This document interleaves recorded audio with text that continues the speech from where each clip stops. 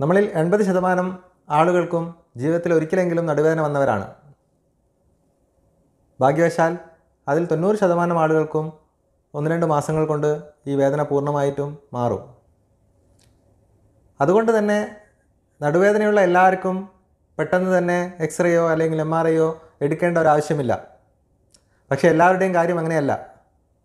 നടുവേദനയിൽ ഗുരുതരമായ നടുവേദനകളുണ്ട്. അപ്പോൾ ഗുരുതരമായ പ്രശ്നങ്ങൾ അല്ലെങ്കിൽ അസുഖങ്ങൾ ഉള്ള നടുവേദന കണ്ടെത്താനുള്ള ലക്ഷണങ്ങളെയാണ് റെഡ് ഫ്ലാഗ്സ് എന്ന് പറയുന്നത്. അപ്പോൾ ഇന്നത്തെ എന്റെ ചർച്ച നടുവേദനയിൽ ഗുരുതരമായ അസുഖങ്ങൾ കണ്ടുപിടിക്കാനുള്ള ഈ റെഡ് ഫ്ലാഗ്സ് എന്നറിയപ്പെടുന്ന ലക്ഷണങ്ങൾ എന്തൊക്കെയാണ് എന്നുള്ളതാണ്. ഞാൻ doctor Nishad consultant pain physician Cortex and pain care Kozhikode.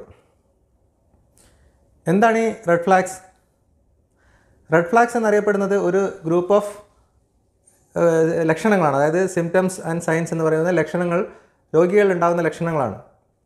അത് വെച്ചുകൊണ്ട് നമുക്ക് പ്രെഡിക്റ്റ് ചെയ്യാൻ പറ്റും. ഈ രോഗിക്കുള്ള നടുവേദന കൂടുതൽ ഗുരുതരമായ അസുഖങ്ങളാണ്. എന്താണ് ഈ ഗുരുതരമായ അസുഖങ്ങൾ കൊണ്ട് ഉദ്ദേശിക്കുന്നത്? നാല് തരത്തിലുള്ള അസുഖങ്ങളാണ് ഈ ഗുരുതരമായ അസുഖങ്ങൾ നമ്മൾ ഈ വിഭാഗത്തിൽ പെടുത്തിയിരിക്കുന്നത്. ഒന്ന് ക്യാൻസർ സംബന്ധമായ പ്രശ്നങ്ങൾ. രണ്ട് അണുബാധ നട്ടലിനോ അല്ലെങ്കിൽ ആ ഭാഗത്തോ ഉണ്ടാകുന്ന അണുബാധ. മൂന്നാമത്തത് എല്ലിനുള്ള പൊട്ടൽ ഫ്രാക്ചേഴ്സ് നാലാമത്തത് കോഡ ഇക്വിന സിൻഡ്രോം എന്നറിയപ്പെടുന്ന ഒരു കണ്ടീഷൻ അതായത് ഞരമ്പിന് ചതവ് വരുന്ന ഒരു അസുഖമാണ് കോഡ ഇക്വിന സിൻഡ്രോം. ഈ നാല് കാര്യങ്ങൾക്കാണ് നമ്മൾ ഗുരുതരമായ പ്രശ്നം അല്ലെങ്കിൽ നടുവേദനയിൽ എത്രയും പെട്ടെന്ന് തന്നെ ചികിത്സ തേടേണ്ടുന്ന അസുഖങ്ങളായിട്ട് കണക്കാക്കുന്നത്. എന്തുകൊണ്ടാണ് ഇത് ഗുരുതരമെന്ന് പറയുന്നത്? കാരണം എത്രയും പെട്ടെന്ന് നമ്മൾ ഇമേജിങ് ചെയ്യുക അതായത് ടെസ്റ്റുകൾ നടത്തുകയും അതിന്റെ അസുഖത്തിന് ട്രീറ്റ്മെന്റ് എടുത്തു എടുക്കുകയും ചെയ്തിട്ടില്ലെങ്കിൽ നമ്മളുടെ ഞരമ്പിന് അതായത് സുഷുമ്ന നാടിക്കോ ഞരമ്പുകൾക്കോ പെർമനന്റ് ആയിട്ടുള്ള ഡാമേജ് വരിക. അല്ലെങ്കിൽ അത് ജീവന് തന്നെ ഭീഷണിയാകുക. ഇത്തരത്തിൽ പ്രശ്നങ്ങൾ ഉണ്ടാകുന്നത് കൊണ്ടാണ് ഇതിനെ ഗുരുതരമായ അസുഖങ്ങൾ പറയുന്നത്. അപ്പോൾ ഇത് നമ്മൾ കണ്ടെത്താനുള്ള പെട്ടെന്ന് തന്നെ കണ്ടെത്താനുള്ള ലക്ഷണങ്ങൾക്കാണ് റെഡ് ഫ്ലാഗ്സ് എന്ന് പറയുന്നത്. അപ്പോൾ നമുക്ക് എന്തൊക്കെയാണ് ഈ റെഡ് ഫ്ലാഗ്സ് നോക്കാം. അപ്പോൾ ഞാൻ ആദ്യം പറഞ്ഞത് ക്യാൻസർ സംബന്ധമായ പ്രശ്നം. അതായത് മാലിഗ്നൻസി നമ്മൾ നട്ടലിന്റെ ഭാഗത്തോ അല്ലെങ്കിൽ നട്ടലിനെ കംപ്രസ് ചെയ്യുന്ന രീതിയിലോ നട്ടലിന്റെ എല്ലുകൾക്കോ എവിടെയെങ്കിലും ഒരു ക്യാൻസർ സംബന്ധമായ അസുഖമുണ്ടോ എന്നുള്ളത് അറിയാൻ എന്താണ് ചെയ്യുക? സാധാരണയായി രാത്രി കാലങ്ങളിലുള്ള അതായത് റെസ്റ്റ് എടുത്താലും മാറാത്ത രീതിയിലുള്ള അല്ലെങ്കിൽ വേദനയുടെ സമാരികൾ കഴിച്ചാലും മാറാത്ത രീതിയിലുള്ള കഠിനമായ വേദന.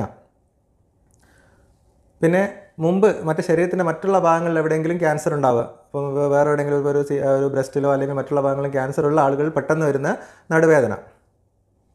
പിന്നെ ഇതിനോടൊപ്പം തന്നെ നടുവേദന വരുന്നതോടൊപ്പം തന്നെ ശരീരം നന്നായി മെലിയുക.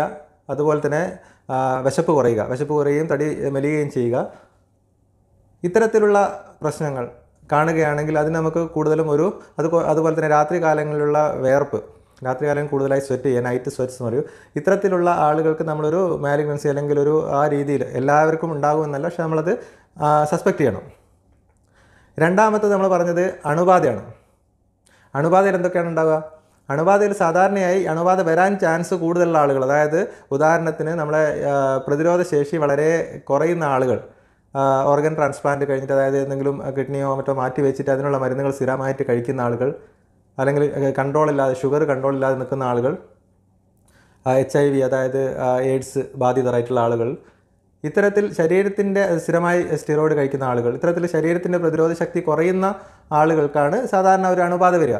അപ്പോൾ അത്തരത്തിലുള്ള ആളുകൾ അതുപോലെ തന്നെ ഐ വി ഡ്രഗ് അബ്യൂസസ് അതായത് നമ്മൾ ഈ മയക്കുമരുന്ന് കുത്തിവെക്കുന്ന ആളുകൾ ഇത്തരത്തിലുള്ള ആൾക്കാർക്കെല്ലാം ഇൻഫെക്ഷൻ ചാൻസ് കൂടുതലാണ്.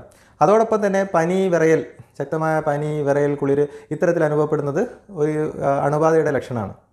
അപ്പോൾ ചിലപ്പോൾ രാത്രി കാലങ്ങളിൽ മാത്രം പനി അപ്പോൾ ഈ ടി ബി പോലെയുള്ള അണുബാധ ഇൻഫെക്ഷൻ ആണെങ്കിൽ രാത്രി കാലങ്ങളിൽ മാത്രം പനി പനിക്കുക അതുപോലെ തന്നെ ഈ വിശപ്പ് കുറയുന്നതും തടി കുറയുന്നതൊക്കെ ഈ ഇൻഫെക്ഷന്റെ ഭാഗമായിട്ട് ഇപ്പോൾ ഈ ടി ബി പോലെയുള്ള ഇൻഫെക്ഷൻ വരികയാണെങ്കിലും വിശപ്പില്ലായ്മ തടി കുറയുക അത്തരത്തിലുള്ള കാര്യങ്ങളെല്ലാം ഉണ്ടാവും അപ്പോൾ അതാണ് നമുക്ക് രണ്ടാമത്തെ അതായത് ഇൻഫെക്ഷൻ എന്ന് പറയുന്ന അല്ലെങ്കിൽ അണുബാധ കണ്ടുപിടിക്കാനുള്ള കാര്യങ്ങൾ. അതായത് ഇൻഫെക്ഷൻ വരാനുള്ള ചാൻസ് വരിക അതുകൂടാതെ ഇൻഫെക്ഷൻ ഉള്ളപ്പോൾ ഉണ്ടാകുന്ന പനിയും കാര്യങ്ങളെല്ലാം ഉണ്ടാവുക. മൂന്നാമതായിട്ട് നമ്മൾ വരുന്നത് ഫ്രാക്ചേഴ്സ് അതായത് എല്ലിന് പൊട്ടുണ്ടാകാം അപ്പോൾ എല്ലിന് പൊട്ടുണ്ടാകണമെങ്കിൽ ഒന്ന് ഈ പ്രായമായ ആൾക്കാർ അതായത് അമ്പത് വയസ്സിൽ കൂടുതൽ ആളുള്ള ആൾക്കാരിൽ പെട്ടെന്ന് വരുന്ന നടുവേദന. നമ്മൾ ശ്രദ്ധിക്കണം. ചിലപ്പോൾ അവർക്ക് കാര്യമായിട്ട് പരിക്കൊന്നും ഉണ്ടായിട്ടുണ്ടാവില്ല ചിലപ്പോൾ സ്ലിപ്പായിട്ടേ ഉണ്ടാവുള്ളൂ. പക്ഷേ അത്തരത്തിലുള്ള ആളുകൾ പെട്ടെന്ന് വരുന്ന നടുവേദനയ്ക്ക് ഒരു കാരണം എല്ല് പൊട്ടുന്നതാണ്. അത് നമ്മൾ ഓസ്റ്റിയോപ്രോട്ടിക് കംപ്രഷൻ ഫ്രാക്ചർ എന്ന് പറയുന്നത് എല്ല് പൊട്ടിയിട്ട് ഉണ്ടാകുന്ന പ്രശ്നം.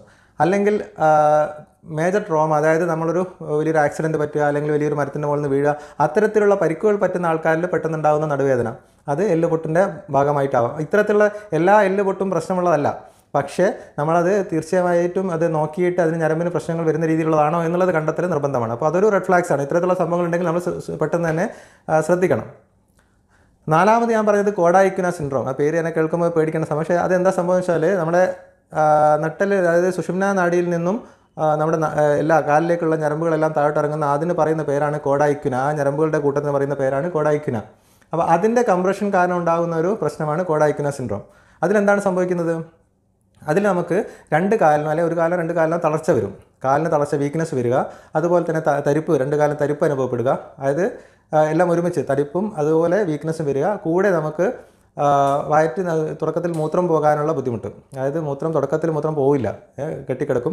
കുറച്ച് കഴിഞ്ഞാൽ അത് ഓവർഫ്ലോ അതായത് മൂത്രം അറിയാതെ പോകുന്ന ഒരവസ്ഥയിലേക്ക് വരും. അത് വയറ്റിൽ നിന്ന് പോകുന്നു അതുപോലെ തന്നെ അറിയാതെ പോകുന്ന ഒരവസ്ഥയിലേക്ക് അതിന് മൂത്രത്തിന് മൂത്രം ഒഴിക്കുന്ന അല്ലെങ്കിൽ വയറ്റിൽ നിന്ന് പോകുന്ന ആ ഭാഗത്ത് നമ്മൾ പെരിനിയത്തിലും വയറ്റിൽ നിന്ന് പോകുന്ന ഭാഗത്തൊക്കെ തരിപ്പ് അനുഭവപ്പെടുക. ഇതൊക്കെയാണ് സാധാരണ ഈ ഈ കോഡായിക്കുന സിൻഡ്രത്തിന്റെ നമുക്കുള്ള ലക്ഷണങ്ങൾ അതൊക്കെയാണ്. അപ്പോൾ ഇത് പ്രത്യേകിച്ചും കൊഡായിക്കുന സിൻഡ്രോം നമ്മൾ കണ്ടു കഴിഞ്ഞാൽ അതൊരു സർജിക്കൽ എമർജൻസിയാണ് അപ്പോൾ എത്രയും പെട്ടെന്ന് എം ആർ ഐ സ്കാൻ എടുത്ത് പെട്ടെന്ന് തന്നെ ഇരുപത്തിനാല് മണിക്കൂറിനുള്ളിൽ തന്നെ സർജറി ചെയ്യൽ നിർബന്ധമാണ്. ഇല്ലെങ്കിൽ അവരുടെ ആ ഒരു ഡാമേജ് അതായത് വീക്ക്നെസ് പെർമനന്റ് ആയിട്ട് നിൽക്കാനുള്ള ചാൻസ് ഭയങ്കര കൂടുതലാണ്. അപ്പോൾ ഇത്തരത്തിലുള്ള ആൾക്കാർക്ക് ഇത് ഈ ഒരു സിംറ്റംസ് കണ്ട കാലിന് വീക്ക്നെസ് അതോടൊപ്പം തന്നെ വയറ്റുന്ന അറിയാതെ പോകുക അല്ലെങ്കിൽ മൂത്രം പോകാതിരിക്കുക ഇത്തരത്തിലുള്ള പ്രശ്നങ്ങൾ വന്നു കഴിഞ്ഞാൽ പെട്ടെന്ന് തന്നെ നമ്മൾ ഡോക്ടറെ കാണുകയും ടെസ്റ്റ് ചെയ്യുകയും ചെയ്യേണ്ടതാണ്. അപ്പോൾ ഈ നാല് കാര്യങ്ങൾ അതായത് ഞാൻ പറഞ്ഞ പോലെയുള്ള ക്യാൻസർ ഇൻഫെക്ഷൻ ഫ്രാക്ചർ അതുപോലെ തന്നെ കോഡായിക്കുന്ന സിൻഡ്രോം ഈ നാല് കാര്യങ്ങളെ കാണിക്കുന്ന ഞാൻ പറഞ്ഞ ലക്ഷണങ്ങൾ. അപ്പോൾ നമ്മളിപ്പോൾ ഒരു ലിസ്റ്റായിട്ട് പറയുകയാണെങ്കിൽ ഈ അതികഠിനമായ രാത്രികാലങ്ങളിൽ ഉണ്ടാകുന്ന അതികഠിനമായ വേദന അതുപോലെ തന്നെ വെയിറ്റ് കുറയുന്നത് വിശപ്പ് വിശപ്പില്ലായ്മ ഇതിന്റെ കൂടെ നടുവേദനയുടെ കൂടത്തിൽ വരിക പെട്ടെന്നൊരു ആക്സിഡന്റോ അല്ലെങ്കിൽ വീഴ്ചയ്ക്കോ ശേഷം വരുന്ന നടുവേദന അതുപോലെ ഇൻഫെക്ഷന് ചാൻസ് ഉള്ള പ്രതിരോധ ശക്തി കുറഞ്ഞ ആൾക്കാരുണ്ടാകുന്ന നടുവേദന മറ്റുള്ള ശരീരത്തിൽ എവിടെയെങ്കിലും ക്യാൻസർ വന്ന ആൾക്കാർക്ക് ഉണ്ടാകുന്ന നടുവേദന ഇതിനെയൊക്കെയാണ് നമ്മൾ ഒരുമിച്ച് അതുപോലെ തന്നെ കാലിലേക്കുള്ള വീക്ക്നെസ്സും രണ്ട് കാലിലും പെട്ടെന്ന് വരുന്ന തളർച്ചയും ആ, വയറ്റുന്ന് പോകുന്ന ഭാഗത്തുണ്ടാകുന്ന തരിപ്പ് അതുപോലെ മൂത്രം മലം അറിയാതെ പോകുന്നൊരവസ്ഥ ഇതൊക്കെ ഉണ്ടാകുന്ന ഇത് വന്നു കഴിഞ്ഞാൽ എത്രയും പെട്ടെന്ന് തന്നെ നമ്മൾ ഈ ആളുകൾക്ക് ഇമേജിങ് അതായത് എം ആർ ഐ മിക്കവാറും മിക്ക ആളുകൾക്ക് എം ആർ ഐ തന്നെയാണ് ആവശ്യം വരിക. എം ആർ ഐ സ്കാൻ എടുത്തുകൊണ്ട് എന്താണെന്ന് കണ്ടെത്തി പെട്ടെന്ന് തന്നെ ചികിത്സ തേടേണ്ടതാണ്.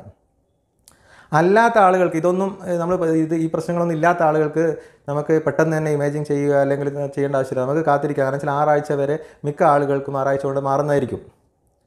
അപ്പോൾ ഇതാണ് നമുക്ക് അറിഞ്ഞിരിക്കേണ്ട കാര്യം. അപ്പോൾ അടുത്ത വീഡിയോയിൽ ഞാൻ ഇത് ഈ വീഡിയോ മുതൽ അങ്ങോട്ട് നടുവേദനയെക്കുറിച്ച് ഒരു സീരീസ് ചെയ്യാനാണ് ഉദ്ദേശിക്കുന്നത്. അപ്പോൾ തുടക്കത്തിൽ നമ്മൾ നടുവേദന നടുവേദനയിൽ ഏറ്റവും പ്രധാനമായിട്ട് ശ്രദ്ധിക്കേണ്ട അല്ലെങ്കിൽ നമ്മൾ മിസ്സാവാൻ പാടില്ലാത്ത കാര്യങ്ങളെക്കുറിച്ചാണ് ഇത്രയും നേരം ചർച്ച ചെയ്തത്. അതായത് റെഡ് ഫ്ലാഗ്സ് നമ്മൾ കണ്ടുപിടിച്ചു.